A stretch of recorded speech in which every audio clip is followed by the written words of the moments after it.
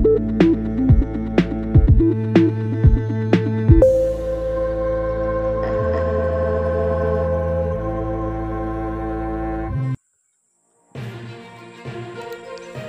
perpaduan rakyat Malaysia Info hari ini.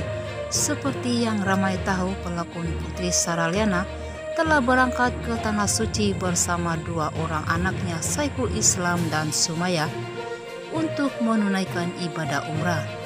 Namun apa yang menjadi perhatian netizen ialah pelakon berusia 37 tahun itu hanya ditemani oleh ahli keluarga ketika berangkat dari lapangan terbang Kuala Lumpur.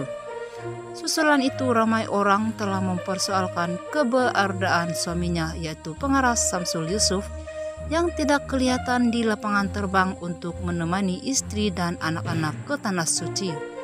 Namun apa yang mengundang sebab orang ramai apabila melihat anak sulung mereka Saikul hanya ditemani kru mutawif dan peserta umrah lain sepanjang beribadah di sana.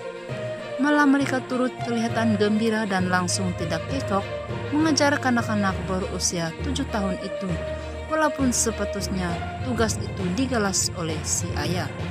Bukan itu saja, Saikul dan Sumaya turut dilayan baik oleh pelakon Imam Mambong yang turut menyertai rombongan umrah itu.